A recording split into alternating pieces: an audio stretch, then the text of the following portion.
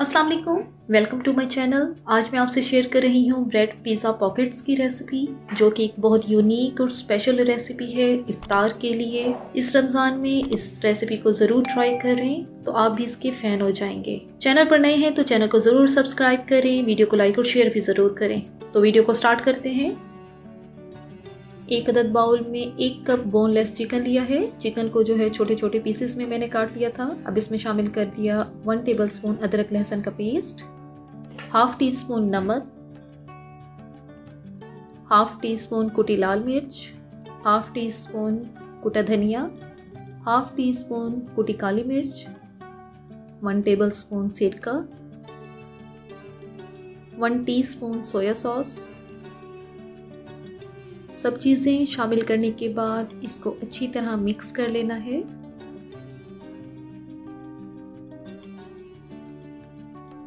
अब एक अदद पैन में दो टेबलस्पून के बराबर ऑयल शामिल किया है। अब उसमें शामिल किया अपना चिकन फ्लेम मीडियम है। एक से दो मिनट के लिए फ्लेम को मीडियम टू हाई पे रखना है और इसको अच्छी तरह भूनना है जब तक कि चिकन का सारा पानी जो है वो इवेपोरेट ना हो जाए।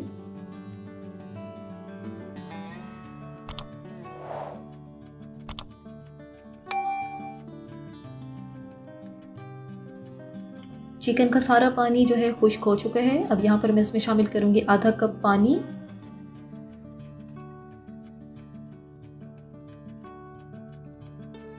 पानी शामिल करने के बाद इसको कवर करना है और सात से आठ मिनट के लिए इसको ऐसे ही पकाना है मीडियम टू लो फ्लेम पे, जब तक कि चिकन जो है वो नरम ना हो जाए। सात से आठ मिनट हो चुके हैं। चिकन जो है अच्छे से नरम हो चुकी है। अब इसको अच्छी तरह पका लेना है। यहाँ पर इसमें शामिल किया one fourth teaspoon oregano अगर आपके पास ऑरिगेनो नहीं है तो आप इसको मत इस्तेमाल करें।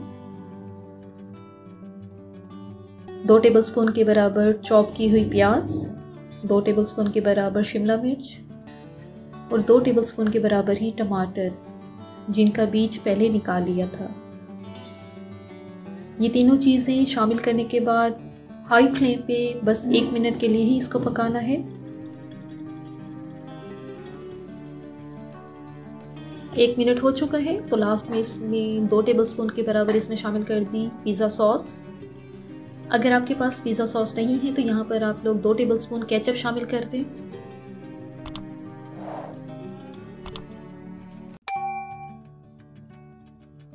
तो बस ये स्टफिंग जो है तैयार हो चुकी है। फ्लेम को बंद किया, इसको अब चूल्हे से नीचे उतार लिया। स्टफिंग जो है ठंडी हो चुकी है। यहाँ पर मैं इसमें शामिल करूँगी मोजरेला चीज़ जो कि तीन टेबल स्पून के बराबर है।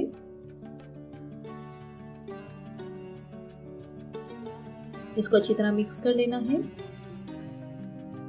अब इसको रखा साइड पर। एक अदद ब्रेड का स्लाइस लिया है। इसकी साइड्स जो हैं वो छुरी की मदद से अलहदा कर लेनी है। साइड्स अलहदा करने के बाद बेलन की मदद से इसको फ्लैट कर लेना है, बिल्कुल। एक से दो बार आप लोग इस तरह करेंगे तो ब्रेड का जो स्लाइस है वो बिल्कुल फ्लैट हो जाएगा। अब ब्रेड के स्लाइस के ऊपर रख देनी है स्टफिंग, जो हमने चिकन की तैयार की है। अब इसकी कॉर्नर पर जो है, वो पानी लगा देना है फिंगर्स की मदद से, ताकि जो इसके कॉर्नर हैं, वो बहुत सॉफ्ट हो जाएँ।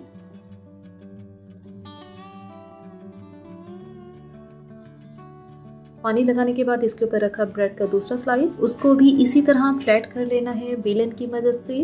और इसकी साइड से भी पानी लगाकर इसको प्रेस करना है ताकि दोनों जो स्लाइस हैं वो आपस में मिक्स हो जाएँ। पानी लगाने के बाद अब ऊपर से इसको अच्छा सा प्रेस करना है ताकि जो स्लाइस के एजेस हैं वो अच्छी तरह सील हो जाएँ।